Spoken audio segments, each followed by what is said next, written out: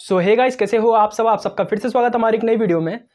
तो आज ये जो वीडियो मैं बना रहा हूँ, ये बना रहा हूँ उन लोगों के लिए जो कि सेलर्स ऐसे हैं जो बड़ा बड़ा प्रोडक्ट्स बेचते हैं। बेसिकली उसमें आ जाता है मशीनरीज वगैरह या कोई भी बड़ा आइटम जिसका वॉल्यूमेट्रिक वेट ज़्यादा है, नहीं तो इसका एक्चुअल वेट ही ज़्यादा है।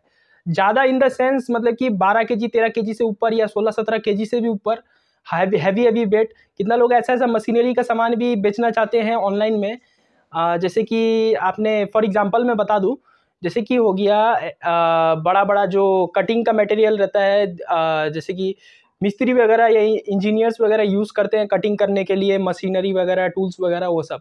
जो कि लोहे का रहता है, उसका वज़न बहुत ज़्यादा रहता है। या कितना लोग जिम इक्विपमेंट्स भी बेचना चाहते हैं, जिसका वेट बहुत ज़्यादा रहता है स्टार्टिंग ही तो हो जाता है ढाई के जी पाँच के जी से।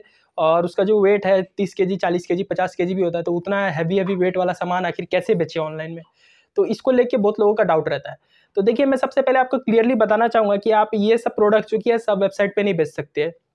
ये सब हैवी वेट वाला सामान बेचने के लिए सबसे बेस्ट आपके लिए रहेगा अमेजोन और अमेजोन पे आपको कैसे बेचना है, आपको मैं वो बता देता हूँ। अमेजोन पे देखिए, सबसे पहले आपका अकाउंट में आपको सेल्फ शिप खाली ऑन रखना पड़ेगा और बाकी जो इजी शिप का ऑप्शन रहता है, वो डिसेबल कर देना पड़ेगा।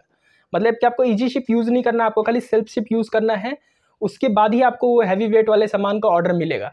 जब आपको ऑर्डर मिलेगा तो आपको जो कि है कोई थर्ड पार्टी कुरियर से भेजना पड़ेगा, क्योंकि आपका अकाउंट जो कि है सेल्फ शिप पे रहेगा तो आप कोई भी थर्ड पार्टी लॉजिस्टिक से भेजो, उसमें आपको अमेजोन का कुरियर का कोई हाथ नहीं रहेगा।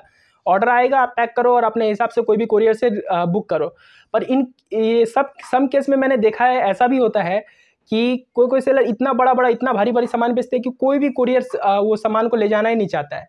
वो मतलब कि सब कुरियर के जो वेट का वो लोग का स्लैब रहता है, उससे बाहर हो जाता है।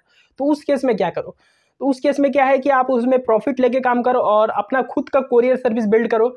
आपका जहाँ से भी ऑर्डर आता है, आप वहाँ पर जाके डिलीवर करके आओ। पर उसके लिए आपको जो कि है, एक अच्छा प्रॉफिट मार्जिन रखना पड़ेगा। ऐसे कितने सेलर्स है भी जो काम कर रहे हैं। फॉर एग्ज़ाम्पल के लिए मैं आपको बता दूँ, आप अमेजोन पे फ़िश टैंक लिख के सर्च कीजिए।